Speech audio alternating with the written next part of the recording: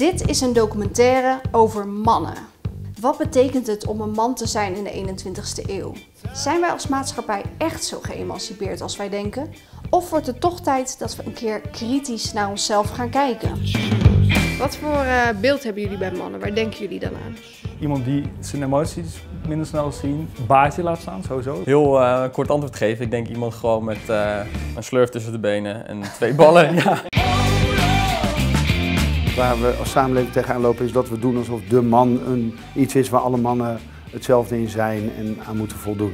Nou ja, zet je tv maar eens aan. Wat zie je? Het stereotype beeld van hoe een man hoort te zijn. Want wat is jouw uh, mening over dat alle mannen zo eigenlijk moeten zijn? Totale bullshit. Maar het heeft vaak met dominantie te maken. Dus wie is degene uh, die het meest populair is of wie is degene die het sterkst is? Er is altijd apenrots